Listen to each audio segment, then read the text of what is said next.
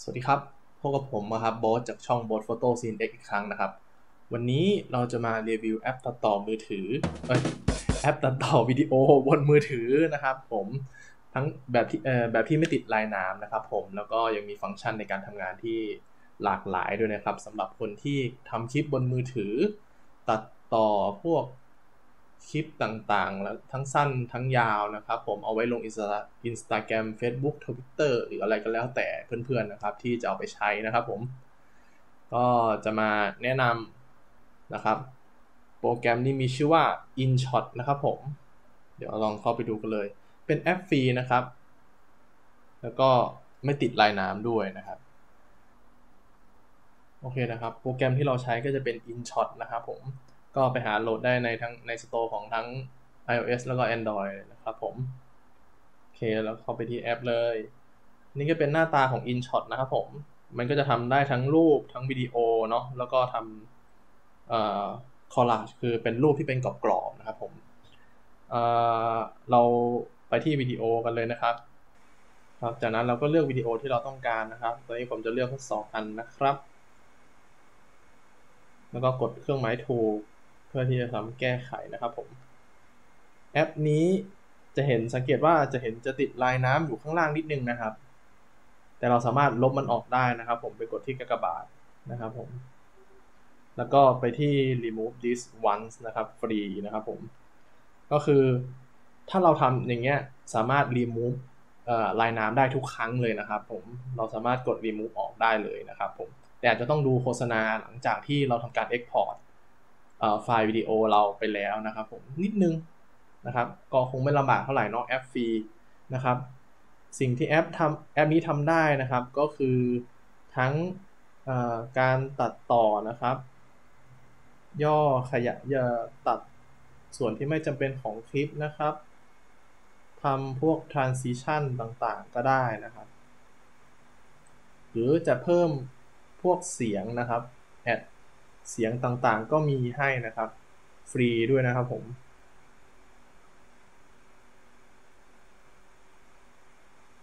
อย่างนี้เป็นต้นนะครับ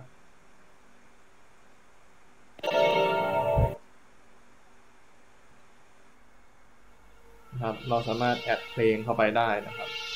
นี่เป็นต้นนะครับ เราจะใส่ transition นะครับ ระหว่างรอยต่อของคลิปนะครับผม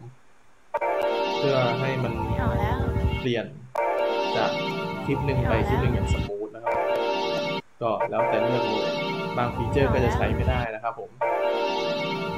เราต้องจ่ายตังค์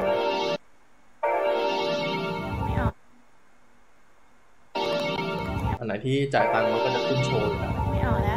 ก็อันนี้ทำได้ครบเครื่องนะครับ ทั้งใส่ตัวหนังสือใส่สติกเกอร์นะครับ ใส่ฟิลเตอร์ก็ได้นะครับผม เร่งเวลา นะครับผมหมุนคลิป freeze คลิป reverse นะครับทำความเร็วจัดความเร็วได้นะครับผมแต่ที่ทำไม่ได้คือการน่าจะเป็นการซ้อน layer นะครับ ซ้อน layer ไม่น่าจะทำได้นะครับผมอันนี้ก็น่าจะเป็นข้อจำกัดของแอปเนาะ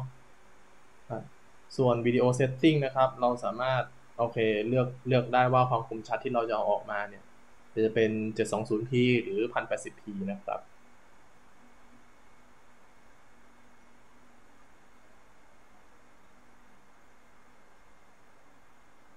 แล้วก็ตัวฟังก์ชันบางอย่างถ้าเรากดไปแล้วแล้วมันใช้ไม่ได้เนี่ยมันก็จะขึ้นโชว์อยู่แล้วเนาะว่า จะต้องจ่ายเงินหรือจะต้อง unlock ฟีเจอร์นี้โดยการจ่ายเงินนะครับ ก็ถ้าใครไม่ต้องการจ่ายก็คือใช้ตัวฟรีไปได้นะครับ มันก็มีให้ใช้เยอะแยะ เยอะพอสมควรนะครับผมโอเคนะครับจากแล้วก็ Export นะครับก็ กดไปที่ตัวสัญลักษณ์ตรงมุมขวาบนตัวนี้นะครับ แล้วก็กด Save นะครับผม มันก็จะทำการ Export วิดีโอของเรานะครับ ไปเก็บไว้ในที่โฟโต้ของเรานะครับ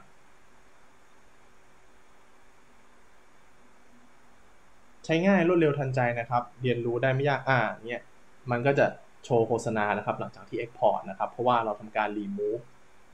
ตัวลายน้ำนะครับ ออกไปโดยที่ฟรีนะครับผม โอเค เท่านี้ก็เรียบร้อยแล้วครับ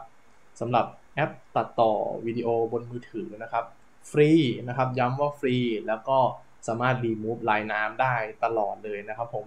โดยการแค่ดูโฆษณาเล็กๆน้อยๆเท่านั้นเองนะครับ ปิดลายน้ำได้นะครับผม ก็ข้อเสียของแอปนี้อย่างเดียวก็คือว่ามันทำเป็น layer ซ้อนกันไม่ได้นะครับผม ก็